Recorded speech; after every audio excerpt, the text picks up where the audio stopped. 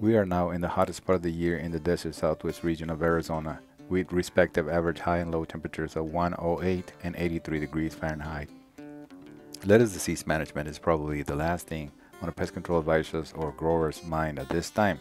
However, this is the perfect time to perform pre-plant soil flooding in fields that had high levels of sclerotinia drop this past season.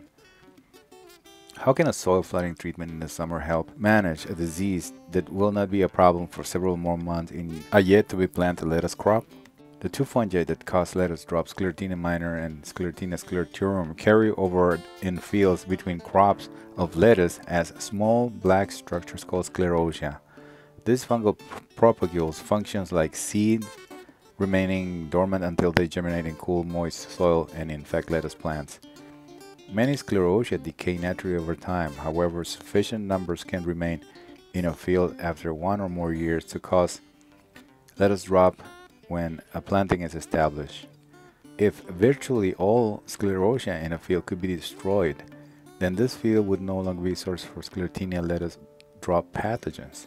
This is where summer pre-plant soil flooding comes in.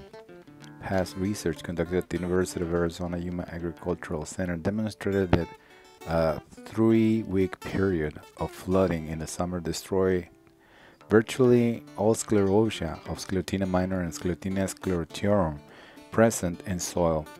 Some growers in the Yuma area have used this soil treatment technique to successfully manage Sclerotinia lettuce drop in fields chronically affected by this disease. Thank you.